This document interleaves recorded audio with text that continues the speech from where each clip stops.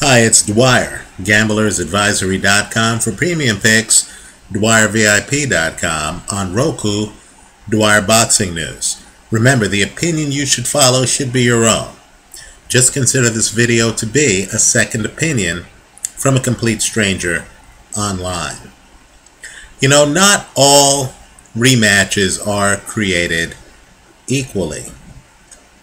When you look at the underlying fight, the first time the two fighters faced each other, you need to figure out whether or not the knockout punch, if there was a knockout, was the result of luck or was the result of patience, practice, and experience, right? If it's the former, then anything can happen in the rematch. You need to discount the underlying fight. If it's the latter, if the winner actually had a method to his madness, where he was able to figure out how to deliver that KO blow, then you need to go with the winner of the first fight. With regard to American heavyweights, Seth Mitchell and Johnathon Banks, I've looked at that first fight several times. Because it's my belief that the result was a function of Johnathon Banks timing and counterpunching. Seth Mitchell. I like Johnathon Banks in the rematch. Let me point out here on YouTube, I picked Johnathon Banks, then an underdog in the underlying fight. I believe Banks, quite frankly, is a technician in this fight. I believe he knows how to time and beat Seth Mitchell. Let's talk about it. Seth Mitchell is a knockout artist. He has a very good right hand. He tries to overwhelm you with physicality right? He imposes himself on you. But we need to understand who Johnathon Banks is. As I make this video, you need to realize that Johnathon Banks is actually the trainer of Vladimir Klitschko. Understand too that Johnathon Banks for years was the protege of Emanuel Steward. In other words, this is a guy who views himself as having the requisite skill to actually offer advice to people like the heavyweight champion. The reason that's a bit astonishing is the fact that Johnathon Banks himself is a heavyweight, and yet he's giving training advice. In fact, he's serving as the trainer for someone in his division who holds one of the titles.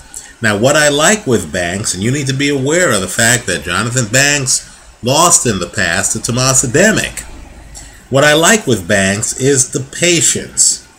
Seth Mitchell tries to turn up the temperature in the ring early. He's coming in throwing hooks. Dare I say it?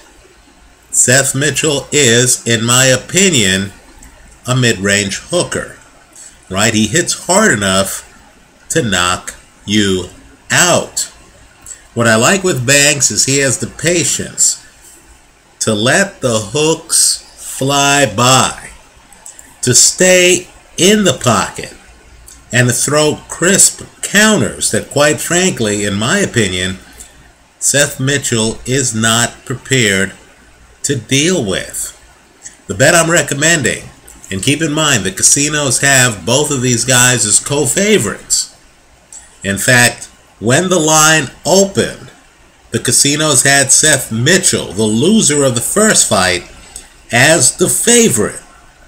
The money has come in on the fight and has shifted where now both guys you get about the same odds. The bet I'm recommending is that you take Johnathon Banks to win the fight, hedged against Seth Mitchell by KO. In my opinion, if these guys stand and trade, bob and weave, Johnathon Banks has the advantage. Fans focus on offense. Banks throws great hooks and can knock you down. Most of his wins are by knockout.